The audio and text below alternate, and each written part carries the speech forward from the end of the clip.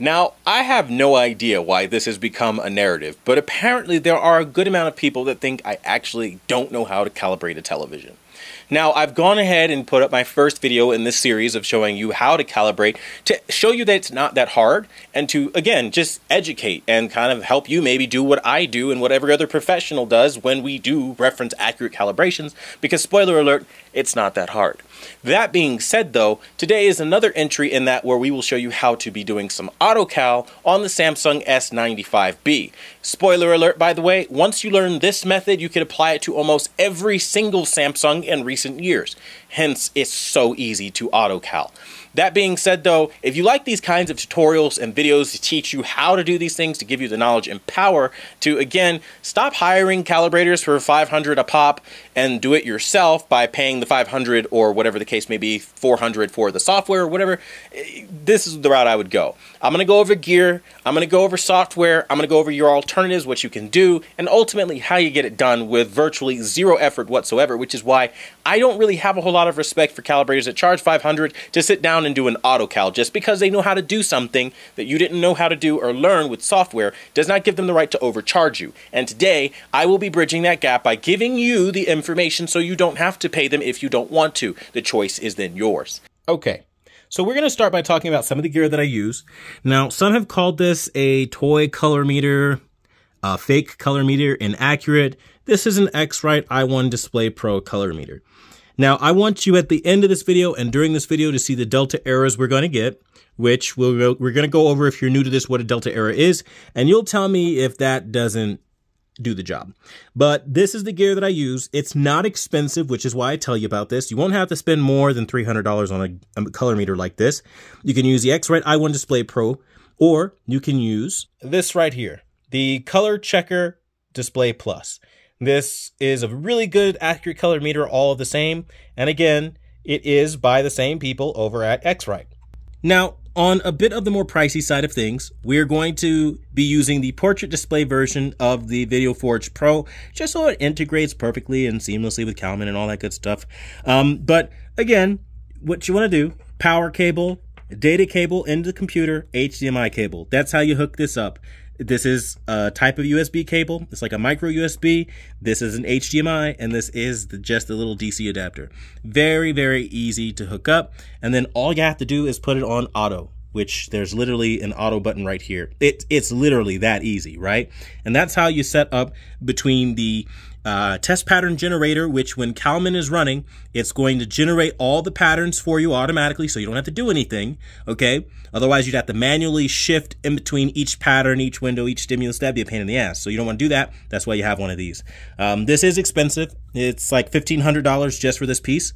And again, color meter is 300. So you can see it's not cheap to do this, but it is doable, okay? Especially given the price of the TVs. If you don't want to hire anybody, you don't have to, okay? So this is, again, $300 color meter and not really that expensive. People go crazy with $2,000, $10,000, $20,000, $30,000. You don't have to be a millionaire calibrator. I think I'll be the first one not to gatekeep and tell you that. Every other calibrator is going to gatekeep and make it seem like you need millions of dollars of gear to get accurate results and you just don't. Now we're in Calman right now, and this is the uh, studio version, right? Um, so again, this is the $2,000 version of Calman. 19.99 retail is what you'll pay for this. It is expensive. You combine 19.99 for Calman, $1,500 for the test pattern generator, and $300 for the color meter. That's what it would cost to do the job that I'm doing the exact way that I'm doing it. Or you could cheap out and get a different version of a Calman that's for your particular model. It is entirely your choice as well. You don't have to, again, be a millionaire calibrator. So close that out. I don't really need that for what I'm doing right now. And what we're doing right now, we're going to find our color meter. Okay. And you just click find meter. Right now it's at simulated. Now you can go through all of this. You really can. I don't like to. If I notice that out of the gate in Calman, my color meter doesn't pick up, I literally will close the program out and literally open it back up to ensure that my color meter works. And for those wondering, we aren't even on the most updated version of Calman. This is the 2023 version. So again, I'm not even using, you know, the most up-to-date version of this because again, if you want to stay updated, you need to pay uh, portrait displays $500 for their all access. And again, nobody's doing that. I'm not maintaining a $500 friggin' subscription. It, that's ridiculous. And again, especially when I don't need it. So again, it shows that this is simulated. So I probably have some connection issue on my end. So I'm to go ahead and solve that and then get back to you. Or maybe not. I'm thinking I'm just going to show you how to diagnose these issues if you notice that like your your meter is simulated because there is a couple of wires to hook up. Sometimes you can get a little forgetful and mess up some things. So as you saw, I closed Calman, open it again, and it still says simulated. That means something's unplugged. Usually that's what that means. So all my mess of wire right? Most people, again, want to gatekeep. They don't want to show you this side of it. Okay, I've got wires here. I've got wires running all over the place. I know this is the wire to my colorimeter. So I'm like, okay, this is the wire to my colorimeter. Trace it. Where did it go? All right. And there it is, not plugged in. That's usually what the problem is. Again, simple issues will trip you up during calibration. It's never really too many complex issues. You just gotta plug it in so you don't end up with issues like what I had. And then I'm gonna close out Calman and open it back up because again, it truly is easier when you do it that way. You don't have to, but I like to close Calman because once I close out Calman and I open it back up, I know that it's going to work. So we go here, we open it back up, you'll see the version type, it'll start loading, and you'll see what I mean. It'll, it'll open pretty instantly. Well, maybe not instantly, but you get the idea it'll load and then we'll be able to show you. But I want to do this in a real time fashion so you can see what the calibration process is actually like. Now, maybe if I wasn't forgetful, it wouldn't have happened like that, but that's what happened. And again, I don't really need the start session crap. I always close that out because I don't need that. I don't use that. Fuck that. Okay, so I'm going to close that out. Okay. Other calibrators have their way. This is mine. Again, raw XYZ already selected by default, which I love. And then X-Rite I1 Display Pro Color Meter. And then you'll know your color meter is on, by the way. Just a typical rule of thumb thing, too. Uh, because you'll see that. It will literally light up and tell you it's on, so I probably should have checked for that. But, you know, again, when you have a lot of stuff to hook up, and especially if you're making a YouTube video, you're going to get a little forgetful, like I, did, I tend to get, and that's okay. So let's just kind of dive into a little bit more of what we were looking at here. And again, X-Rite I1 Display Pro Color Meter. We're going to open up and expand this tab pretty much, I'm just going to save you a lot of work. Just use raw XYZ. That is the most accurate you could probably get for most TVs. Just just do it that way. Just just literally just do it that way. A lot of people have their opinions on what to do and all the workflow. Do not do OLED RGB. You don't need that. Raw XYZ will get you as accurate as you need for pretty much every TV type. Um, that's pretty much it. I mean, that that's that's really all you really have to do for that portion of it. At least setting up the color meter. Um, the test pattern generator already found automatically. I didn't have to do anything there. If you do, you'd go to find, you'd go to your source, and then you would go to your manufacturer, which mine is Spectracal, and then you'd go to VideoForge Pro and select what gear you have. That's really it. You have to know your gear. And then outside of that, we're going to do direct display control. Now, this is how you get into the AutoCal portion. Um, it can be a little annoying and daunting, but don't let it intimidate you because it's really easy. So with the physical remote of the Samsung, um, what is it? Uh, S95D, we're going to open up our settings and then we're going to go into all settings. We're going to go down to connection. We're going to go over to network. And then in network, you want to make sure you go to expert settings and then you're going to make sure IP remote is enabled so you can get the IP address. And that's literally 90% of what you have to do outside of that. Then you go into network status. Then you go to IP settings. And then you're going to get your IP address, not the subnet mask, not the gateway, the IP address. Now, as you guys can clearly see, I have a 2022 QLED set up as the direct display control, to which you're going to be like, that's not a QD OLED. I am well aware of that. Again, this is a wonky way of doing it, but again, it's the affordable way. Uh, and that's kind of what I'm showing you here today. Okay, so if you go into, let's say, Samsung display, you want to find your correct display. I have a couple set up already. Um, you can do this any litany of ways, but I go by the manufacturer. I go to the model number. And then let's say you want to do, let, us say a 2022 like 8K version, right? It, it really won't matter. You're going to need to enter your IP address, okay, to which I'll just paste my IP address in. And then you hit connect. once you hit connect, it's going to do this loading thing and it's going to think and it's going to think and it's going to take its sweet time. While it's doing this in the background, it's gonna work. I'm telling you, it's gonna freaking work for your TV. Like, it, I've done this so many times. It'll say display not found. Don't listen to that. That's total bullshit. It'll pop up a bunch of times like a massive error message. Because the truth is, Calman wants you to pay for their all access, which is a $500 software update. I mean, really, it, it's it's a maintenance thing that gives you all their updates.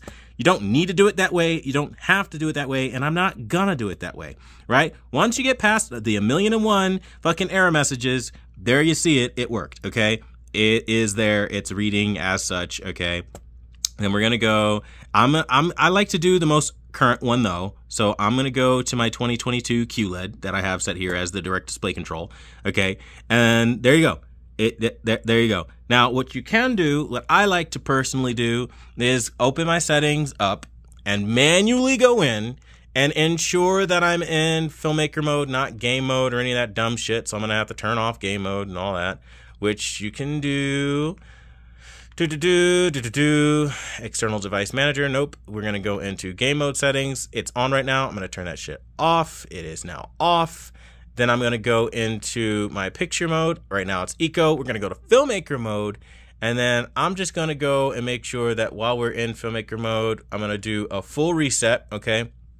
I'm in filmmaker mode and I'm just going to do a full DDC reset. Once you do that, you hit yes, it'll do a full reset of all the calibrations and everything that filmmaker mode has.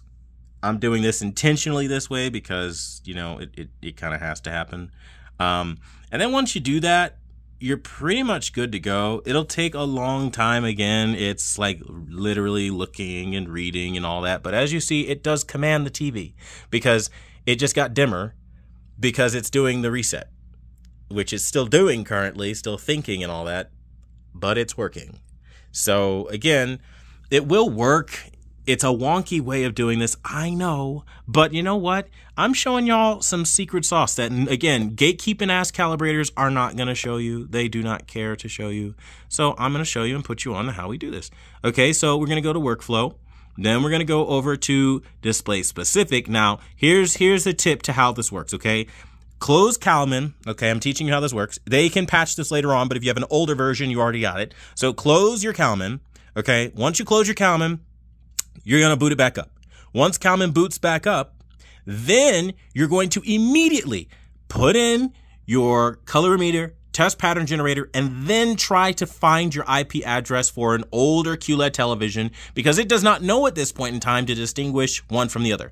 If you specifically start off first by going into open workflow, and then you go into display specific and then you go all the way down to where you have your Samsung or whatever the case may be, like AutoCal for Samsung here, you will not be able to get this to work. It won't work. The only way it works is if you on boot up put all the three information in your color meter, your test pattern generator, and find your display first then go into a workflow. Only way this works. I'm, I cannot stress that's the only way this shit will work.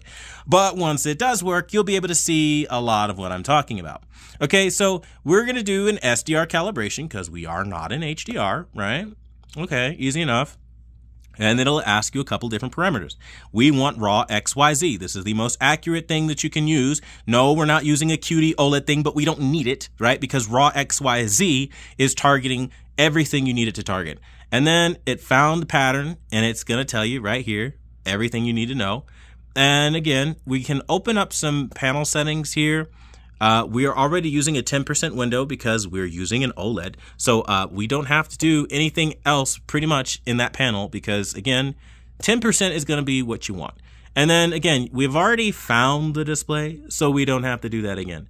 And then from there, you can go to next, or you can just go wherever. And here again at the bottom, I'm going to next. Again, this is very wonky, very long way of doing this, but all your targets are already selected. Um, for maximum accuracy, they say that you want to use the DEITP. Yes, I know.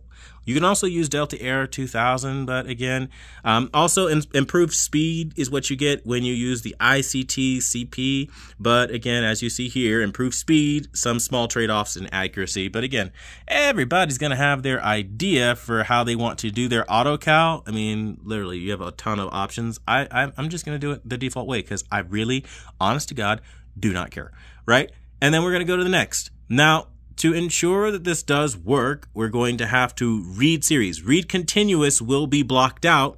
This is how you know it's working because it's not going to do a continuous readout. You're going to read the series, okay? And then it'll say here, read series. You're going to click read series. You know it's working because look what's happening on the screen. You see that? So while there are so many calibrators, I could already hear there's like, that is not how you calibrate. That's not how you do it. I know how to jerry rig some shit. And and yeah, this is how we get it done around here. We don't we don't have to go doing all that like ultra crazy complicated shit. You don't have to. And look, it's taking the actual measurements and reading of your screen and showing your delta error and everything. Now, if what we remember about this TV, this is a Pantone validated color TV, blah, blah, blah, blah, blah. Uh, look at your delta error. Average is 2.5 and the max is 3. This is already calibrated. You can't see anything below three. It's three or lower. So that this is calibrated. They kept true to that. Colors are not, as you see. Average delta error, 6.1 and 8.3, but this is what AutoCal is pretty much going to fix for us so we don't have to do any of this shit ourselves. That's basically the essence of an auto calibration, which is why I think it's disgusting when people charge you for an auto calibration. It's fucking lazy. I mean, it just is. And, and here it'll go over some more of the finer things. Again, talking about your resets and all that shit. Yes, I've already reset my display, so I don't need to worry about that. Then again, you can do like a read series again, just so you can see what your luminance is. It's 169. That's just fine. I mean, people want to do 100 luminance, people like 150. I don't care. I think anything 170 or lower is fine. So we're going to continue forward and we're going to do it like so. The only thing I will double check and make sure is that we have our what is that shit called? Our energy saving off because you do not want that on when you're doing this, okay? And again, so many calibrators will gatekeep, gatekeep this shit. I'm not going to do that because I don't believe in gatekeeping. I think that's like one of the worst things you could possibly do. So now we're going to do the white balance. And this is where it kind of becomes really easy because, again, uh, I'm sorry, I said re read continuous in the last one. AutoCal is going to be grayed out for a couple back because you're, you don't need it for that, but you get what I mean there. He hit AutoCal and look what happens. Okay? It's going to pop up and it's going to tell you exactly what it's going to do. It's going to tell you exactly how it's going to go about doing that. It's going to do the two and uh, it's going to do the 20 and the 100%. Again, remember, this is what I told you in a prior video. That's usually what you want to do if you're not going to do anything else. But I'm kind of greedy when I do AutoCal and I make it do that anyway. You're going to hit OK. Once you hit OK, it's game on. Because look, it's going. I mean, and because Samsung's white balance system works exactly the same in 2022 as it did in 2023, as it does in 2024, that's how you can get away with this. That's literally how. It doesn't matter whether it's a QLED, QD OLED, it doesn't matter. The white balance information, the way they go about white balance is the same. So when all the controls are the same, you can do this. And look, it's adjusting it in real time. You see it's equalizing all on its own. It'll take some time, but it'll get the job done. And this is one of those things where I say work smarter and not harder. Don't go spending all your money trying to have the best gear, getting what I call gas, gear acquisition syndrome. So many calibrators make the mistake of saying, I have to do it exactly the way Calman says. It doesn't matter what this writing says, that it says it's a fucking 2022 uh, QLED. That doesn't matter because what it usually does when it does this, it's looking for a couple different things. The first is that you have QD OLED selected. I don't have the updated version, so I will never have QD OLED. Just use RAW XYZ and you're fine. And then it will go about the white balance and grayscale correction the way Samsung TVs work. And as you can clearly see, AutoCal successful. And again, and this is on a direct display control. It's control the display. It's doing all the inputs and all the values. You see our delta error. And again, it's it's literally doing it. And again, in real time, I'll just show this off because I think people would benefit from seeing this. You see the brightness is low and all that good stuff. You see sharpness is at zero and all that fun stuff. Okay. Um, so again, it's doing a lot of the heavy lifting for us and we don't have to do much. Go under white balance. And again, look it, it, it just did all of those values for us. We don't have to do anything. And look, just so you see, I'm not bullshitting. Every interval is basically zeroed out. This is default. I've done nothing to any of this. And so you see that it is actually going to adjust your grayscale. Watch what happens. It's going to go through all of these intervals and it is going to change the values of each and every last one of them to be exactly what we want. So I'm going to close this out. We're going to go back to our program, okay? And we're going to go and we're going to click next, okay? And next is basically the grayscale AutoCal. This is, again, super easy, as easy as AutoCal, click a button. It's going to tell you exactly what it's going to do. And then you're going to go over and you're going to hit OK, right? Once we hit OK, it's open season. It's game on. Because there it is on the screen right there. It's taking its measurements, it's taking its readings, and it's going to do it for you. Now, there are people that will not like this video. There are people that won't like that I'm showing you how to do it this way. But you know what? This way will get your TV looking reference accurate. You won't have to pay any extra money. It's not going to be different because we are not targeting LED parameters. We're targeting QD OLED parameters. And because we know how to run our software, we know what all these charts and graphs mean. We know how to use the tools at our disposal. We're going to do just damn it that. And once we do that, the picture we walk away with is going to be a calibrated picture. I mean, it's already calibrated because, again, filmmaker mode, reference accurate, Pantone validated colors, yeah, yeah, yeah. But what we're doing now is just refining that a little bit more and getting more out of our image with AutoCal. I cannot stress that it is literally this easy. You're, you're literally going to find every single calibrator from every single walk of life nowadays using AutoCal. Stop hiring these jokers. There, there is no reason to hire them. They don't know how to do this. And I'm telling you right now, this is where all the fun happens. This is where you start really getting into your creative side. And again, the magic happens. Now, this is going to take a while, so I'm going to let it keep doing its thing, and I'm going to come back once we're done with all of our points.